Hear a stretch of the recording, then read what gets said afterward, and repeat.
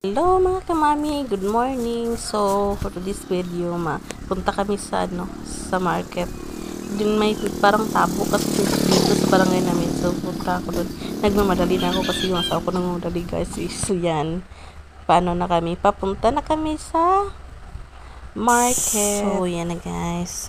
Dito laba, sa labasan na kami. Kasi malapit lang sa amin din ng ano ng market dito guys. Kung tawagin sa amin yung tinda.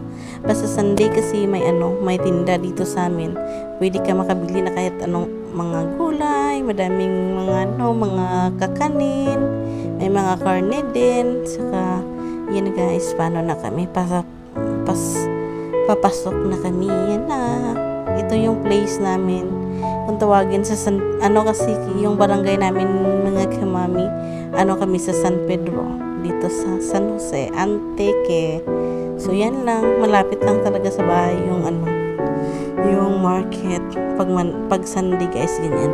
So ganyan kita mo daming tao mo dami ding isda. Saka dito may ano din yung mga isda din yan. Pero sa sa sa, sa, sa sapa sapa yata galing So, yan din. Tawag doon may awis. So, yan guys, ang daming tao. Kaya hindi ko masyadong nano yung camera ko. So, yan. Maglilibot tayo. Maghanap tayo ng ano. Kasi pag pag Sunday talaga, nasa, nasanay kami na, no? Bibili talaga kami ng mga kakanin. Saka, ano guys, baboy, karne. Karne day yung Sunday dito sa amin. So, bago ako bibili ng karne, punta muna ako dito sa mga ano kakanin guys. So yan yung mga ganyan kakanin guys. Yung ganyan 20 lang yan guys. Yung ganyan. So ang yan pulo na. Ay ang ano 10 pesos. So ganyan kadami 20 lang yan guys. Yung, yung binibili ko. Saka masarap yan guys kasi rice talaga yung ginagawa nila. Saka ito may cheese. Sarap din yung puto cheese nila guys. Yan. Bili ako ng puto cheese. Tapos po ano din. Bili din ako ng suman. Yan.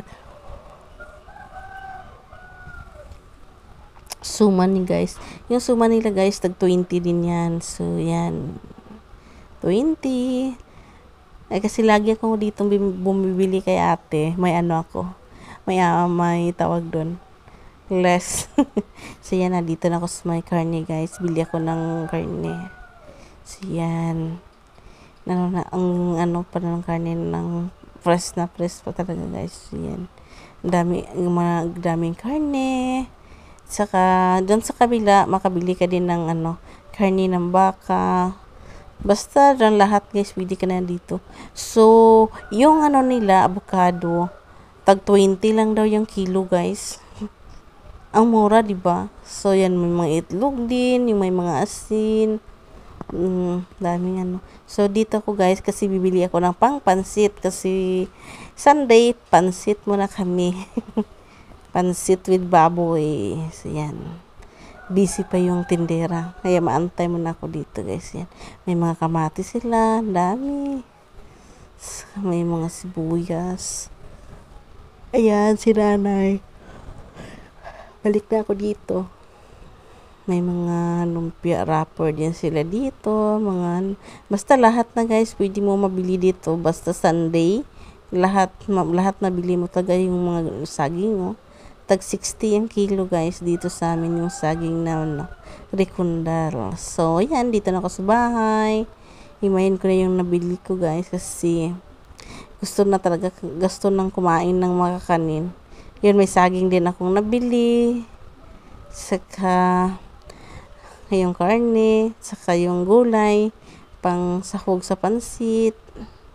Yan, pansit. Saka yung tuyo, guys. 30 lang yan, guys. Ang dami na. Yan yung nabili ko doon, guys, ano, sa market. Tingnan nyo nga yung mga tuyo, guys. Ang sarap niya. Mahilig kasi ako sa ano, ganyan. Lalo na pag may mga ano ko gulay. Ganyan yung piniprito ko. So, gana talaga ng kain. So, 30 lang yon So, ito namang saging, 30 lang din yan. Para sa anak kong makulit. Yan. Mga kakanin. Yan, may isa, ano, yung tawag doon. Binibigay yung, ano, nagtitinda kasi lagi ako, suki ako sa kanya eh. Sabi, binigyan niya ako ng, ano,